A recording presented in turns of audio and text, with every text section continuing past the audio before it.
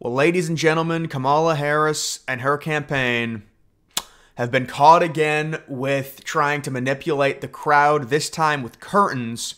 This is at the Desert Diamond Arena in Phoenix, which I believe at this point doesn't have a tenant. The NHL team was kicked out of there, but this arena seats, I would say, around 20,000 people. And if you're someone that's really not familiar with arenas and how they work when it comes to curtains and things like that, there are, and, and it's very clear, upper deck sections that were curtained off by the Harris campaign because for whatever reason, obviously, you know, there's not a lot of demand for her. They can't sell the tickets. There was also a report that this was invite only. I think that might even be a more weird fact if that is true. I saw RNC Research tweeted out, how does an arena rally that has, a, you know, they're saying, I mean, take a look at how they're swinging it here. Harris rides momentum into Arizona for what campaign says is her largest rally yet. So her largest rally includes uh, curtaining off sections of the upper deck. And the reason you do that is because you can't sell the place out and you don't want people to see all of the empty seats. So you bring a curtain down. This is not exclusive to rallies or anything like that. This is just what happens. You know, if you've got like college teams playing in an NBA arena, you're not going to sell out the upper deck. You don't even sell tickets there. You bring a curtain down to block off the empty seats because the empty seats will look bad. So that's exactly what Harris did on both sides. As you can see, all of these, even the, it looks like the middle, the, the, the mezzanine middle uh, club section is, is, tar, is uh, curtained off as well. The upper section, the middle section, all curtained off, and they're actually trying to flex that this is some huge rally. You've got this person saying that it's fake. No, this is actually real. But again, they're tarping off the empty sections to make it seem like it's sold out. She got 15,000 in an arena that has a capacity of 20K in Phoenix or near Phoenix, highly populated population area. You've got Trump in Montana, Bozeman with 10K inside, fully sold out, and then another 20K outside. Trump gets 30K in a town in Montana. Harris can't even sell out 20,000 seats in Phoenix, Arizona. So that's what's going on here. I'm just trying to explain to everyone how crazy it is. And it's just more manipulation. She's got all this hype, she's got all this momentum. She cannot sell out an arena without a significant performer. And it's proof right here. These are tarps. There are all the empty seats behind them.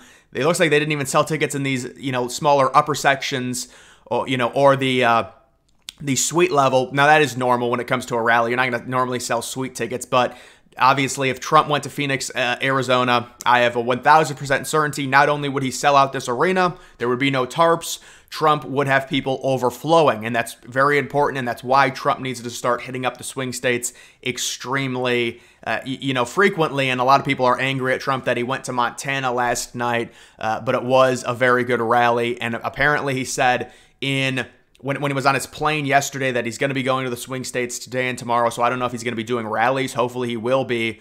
Uh, but uh, here it is. Kamala's rally in Arizona tonight is invitation only. I just can't believe that that would be true. This is a rally at a, a public arena. How would it be invitation only? At a public arena that has a capacity of 20,000. This is not some little fundraiser thing where you're at some function inside of a gym and you can only have like 100 people and it's exclusive. The, the, the campaign is just all so ridiculous. Um, obviously, people got very mad at Trump for this uh, Truth Social thing. This was just very strange that Trump would say this.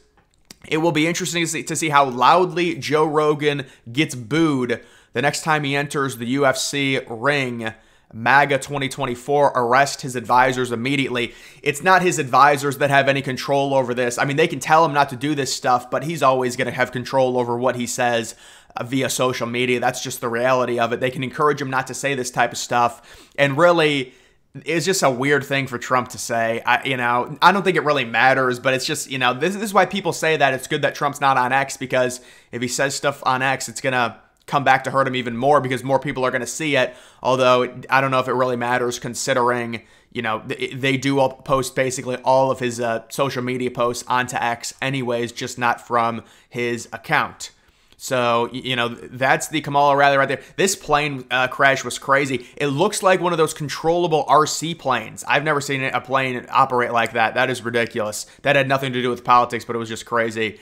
Uh, we, uh, we've got this Kamala Harris basically reading the exact same speech. And the sad thing with Kamala is it's so disingenuous. She does the thing where she tries to relate to people by looking back and saying, Oh, I used to work at McDonald's. And, and she says the exact same thing in every single rally the exact same way. You will not find that with Trump. Now, sure, if you're campaigning and you're doing rallies constantly, you're going to hit on the same talking points, but you're not going to be saying the exact same life stories if you have any sort of originality. That's not Harris. Of course, she has none, and that's just the reality of it. FBI and DHS concerned of about a potential attack at the DNC. If something happens, that will be not via Republican. I can guarantee that. It will not be via, via Republican. So that would be friendly fire if they did something to try and make people feel bad for liberals. So I'm getting out ahead of this, and so are other conservatives. But to say that, that's just ridiculous. Uh, nobody's going to be doing anything. If, if something does happen, that'll be a manipulation tactic. This was a Trump's message talking about him possibly campaigning uh, on Saturday and Sunday. Apparently, I'm guessing he knows that people are angry that he's not that he hasn't been to swing states yet this week. Not that it, again, it's like, well, are we really going to dissect this in August? I think. Listen, a lot of Republicans, and this is what people need to hear. They're very like squirmish. They they saw the huge lead against Biden, where Trump had like a 75% chance to win the election a month and a half ago. Do people not understand whether it was Biden, Kamala, or whoever? The Democratic funding apparatus, like this is a general election. You don't think they're going to come out swinging and the polls are going to tighten up? Did you just think Trump was going to skip to winning, you know, with 400 electoral votes and like a 90% chance to win? That just wasn't going to happen. The, the, this is what I think happened, and this is why people can't, they're panicking so much. Trump's lead was artificially inflated because a lot of the higher up Democrats wanted Biden out. So they stopped spending any money on Biden's campaign for like the final three weeks. But meanwhile, the polls were still being done because Biden was still at that time the candidate. It was a three week period right after the debate. Joe Biden possibly was going to drop out. Jill and Hunter take him to Camp David. They scream at him, like broke the decibel meter and, and, they say you need to stay in, and everyone else within the Democratic Party wanted him out. So they refused funding. They leaked their own horrible internal polls, and that gave Republicans kind of this in terms of the polls, this false sense of, of a blowout feel that it was just going to be, oh, it's all easy. And now you see a few polls with Kamala Harris up, and it's like, oh my God, Donald Trump is the worst ever. The campaign is in a horrible spot. Go through some adversity. Who cares? Oh my God, Kamala Harris is leading by 1%.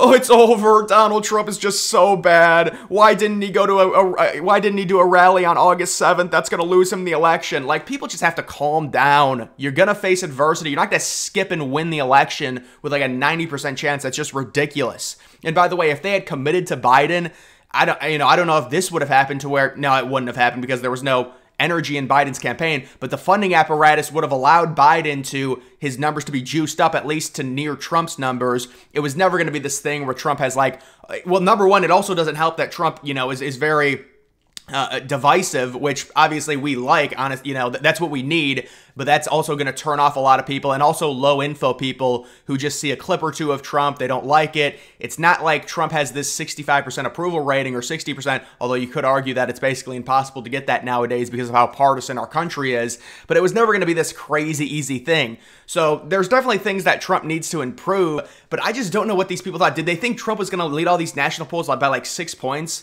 Like, oh my God, it's like the end of the world. Kamala Harris has a lead. Oh, I'm so worried. Like, this is what happens. Face some adversity. So what? It's the election. It ebbs and flows. There was a point back in April where Biden went up over Trump. Biden, who had, a, who had an approval rating at the time of like not, minus 18. So it, it just, it is what it is. Look, Trump needs to go to the swing states. Kamala had the huge hype from the, the leftist cult it's hilarious how they call you know you know Trump supporters uh, cult people. I mean, some of the reactions not been good from Trump supporters where they just defend him no matter what. I agree, but still, Kamala Harris has done nothing to. I mean, she's done nothing except exist and say the same talking point over and over and over and over again at these rallies that are fake. Not only fake in the sense of, you know, uh, the, the support online is drummed up. They're literally faking the rallies with AI and they're bringing down curtains to hide all the empty seats. That's how fake it is. So, this idea that she improves her approval rating by 20% and now she's this liberal light and she was one of the worst VPs and it's on record, it's Colbert, it's all the mainstream Democrats, leftists talking back in March saying that Kamala Harris had a 28% approval rating and that they were thinking about replacing the VP, not the president. They were saying they were going to replace Kamala Harris because Kamala Harris was dragging Biden down. But now that Kamala Harris is is is into being, you know, facing Donald Trump, she's this hero. Oh, yes. So, so that's kind of how that works. And that just shows you the, tr- that, that, you know, that these people will vote for anyone no matter what. They'll swing it any way possible. Uh, that is just the reality when it comes to that. What is happening in the UK? The United, the, the United Kingdom police commissioner threatens to extradite jail U.S. citizens, including Elon Musk, over online posts. It's a it's a it's a full blown horror story what's going on in the UK, and I don't know what the solution is. It's gonna have to. I mean, I don't know what you do. There's got to be like 70% of those citizens, natural born white citizens, that just have to disagree with what's going on. And there has to be something that's done by the people, by the will of the people, because what's happening there it is it's it's nightmares. It, it's nightmare fuel. I thought this was a funny clip. Like i just don't know why they can't embrace what their party is. So you've got tim walz and whether it's walz or kamala who, who really cares who the messenger is but he was talking about how republicans want to take your rights. Like, why can these people just not embrace the fact that they want open borders? They want illegal immigrants into the country. They want massive government overreach to where the government controls everything. That's their party platform. That's the whole idea of why they hate Elon Musk. They hate freedom of speech because if people have too much power, they're too dumb. The government needs to say, you can't say that. You can't say that. The government's smarter than us. It's just like these people why not just embrace what you are? You want a massive government that has insane control over the citizens, and you want more illegal immigrants into this country to be able to, you know, deal with all the losses, the population losses you're experiencing in California, New York, and other states because of horrible Democratic state leadership. So why go through this charade where it's like, we care about your rights, we just want to censor everything you say if we don't agree with it, if the establishment regime doesn't agree with it. But no, we care about your rights, but if you're just too dumb, you know, the government's gonna tell you what to do, you're too stupid. And, and half of these people, like socialists, they hate cars and they think people should live in small apartment buildings because we're going to destroy the world, I guess, if we have land. I mean, yeah, no, it is true. It is true. We should all move into big cities. We should give the government all of our land. They're going to put it to better use than we will. We shouldn't physically be able to own land. The government, I mean, why do we have cars? Cars are air pollution. We shouldn't have those. Let's give the government more power over the uh, us by so we take our transportation away but no, they're going to give us all the rights, and Republicans are the evil ones taking rights away. Elon Musk, who, you know, you want to call him conservative one, he's definitely more of a Republican now. He's the one that put free speech on X, not the Democrats. The Democrats didn't want free speech.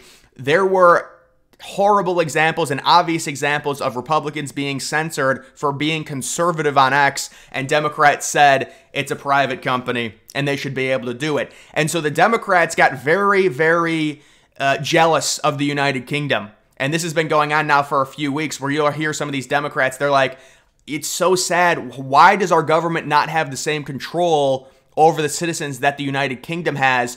But no, Tim Walz is going to tell us that the Democrats are the ones that are going to save us. They want strong borders. Like, why not just embrace your platform? If they embrace their platform, I'd have more respect. Like this whole thing where it's like, like Kamala Harris talking about the border you your your administration, you were the VP, you repe- repealed everything Trump put in place on day one. Go back and look at all the executive orders in, in terms of immigration on January 20th of 2021.